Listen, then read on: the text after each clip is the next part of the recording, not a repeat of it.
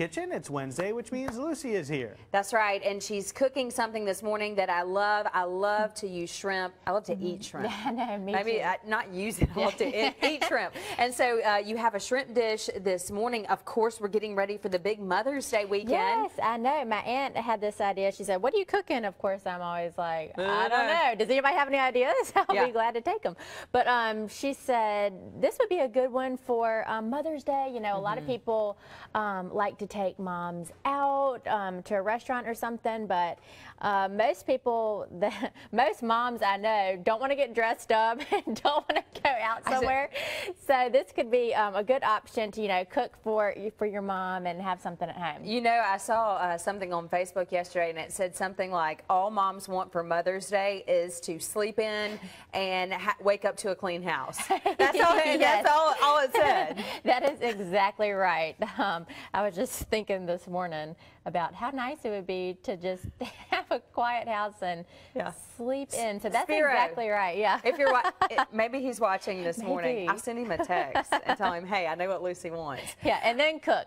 So sleep in, Sleep clean in. the house, Okay. and cook for me. Okay. And do the dishes. I'll send the text in the commercial break. Um, so yeah, you said this is pretty easy when you were telling Joe about it. Yeah, it is really easy, and I like to take a shortcut with this fast cooking rice. Mm-hmm. This one, um, and I like this stuff just for a simple side dish, but um, this is the box that is five minute cooking, and there's also another one that's a little bit longer. I mean, it's only 20 minutes, so whichever one you grab. Yeah. Um, but we're gonna start right now and saute. Actually, we're not gonna saute. We're gonna sweat um, one small onion in a tablespoon of olive oil.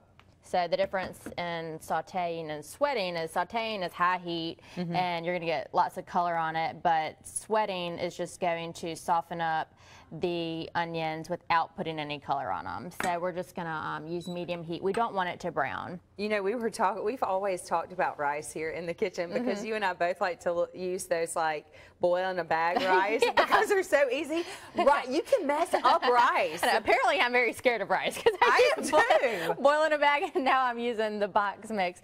But you I'm all know, for it. I know it's like, especially when you're cooking for your mom, you don't want to do anything that's gonna mess No, anything no, up. Kathy would be like, "Okay, Chas, I understand." She's used That to is it. so funny. Yeah, so maybe this will be, um, I can just drop this casserole off at my mom's when I leave the station and then I'll be covered for Mother's Good to go.